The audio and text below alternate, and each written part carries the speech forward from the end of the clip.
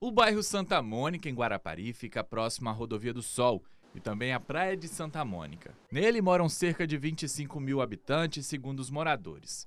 O bairro é bem arborizado e tranquilo, mas aqui ainda falta o básico. As ruas sem asfalto têm muitos buracos e quando chove, a situação fica ainda pior a maior parte das pessoas aqui da nossa área ou tem crianças pequenas de escola que não conseguem ir para a escola quando chove muito e também os idosos para ir ao médico, enfim, para fazer a, a, a vida cotidiana, né? resolver a situação. Essa é a rua Francisco Correia, uma das mais críticas aqui do bairro Santa Mônica. Os moradores contam quando chove, ninguém consegue sair nem a pé e nem de carro.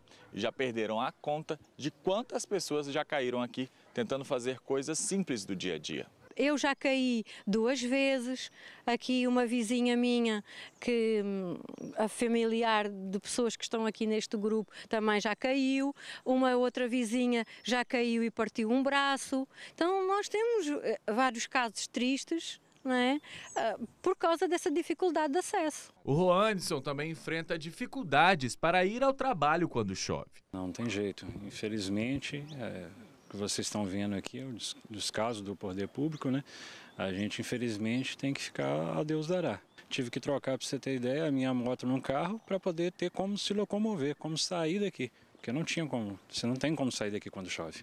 Nesta outra rua, diversas pessoas já caíram e se machucaram.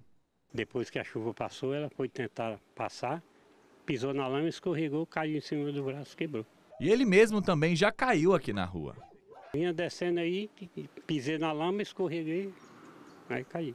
Os moradores do bairro se sentem abandonados pela prefeitura da cidade.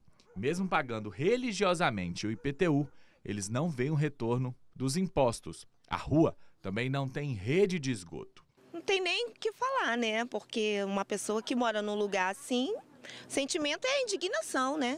Indignação, falta de respeito com as pessoas que moram, que pagam os impostos e tudo mais.